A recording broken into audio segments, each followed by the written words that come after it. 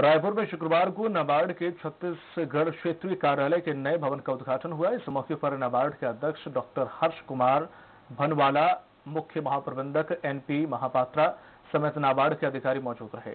यहाँ नाबार्ड के अध्यक्ष डॉक्टर भनवाला ने कहा है कि छत्तीसगढ़ राज्य के ग्रामीण विकास के लिए नाबार्ड प्रतिबद्ध है और सभी धारकों के सहयोग से राज्य की अर्थव्यवस्था के समग्र विकास और ग्रामीण समुदाय की आय साल 2022 तक दोगुना करने के लिए प्रयासरत हैं और उन्हें आगे कहा कि अब उन्होंने खुद के ऑफ़िस में प्रवेश कर लिया है। भवन बहुत अच्छी तरीके से बनाया गया है।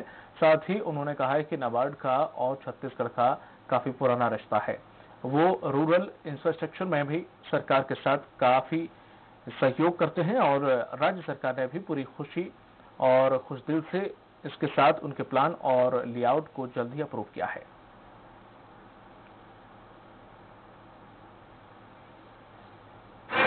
इसके साथ साथ नाबार्ड का और छत्तीसगढ़ स्टेट का काफ़ी पुराना रिश्ता है। हम रूरल इंफ्रास्ट्रक्चर में काफ़ी सहयोग करते हैं स्टेट गवर्नमेंट के साथ। और स्टेट गवर्नमेंट ने भी पूरी खुश दिली के साथ हमारे जो प्लान्स थी लेआउट्स थे, बड़े जल्दी उनको अप्रूव किया। तो मैं धन्यवाद करता हूँ स्टेट गवर्नमेंट का भी।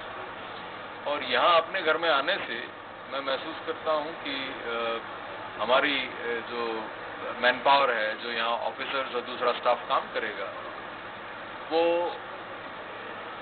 एकमत होकर के राज्य के विकास में सहयोग करने का प्रयास करें कांकेर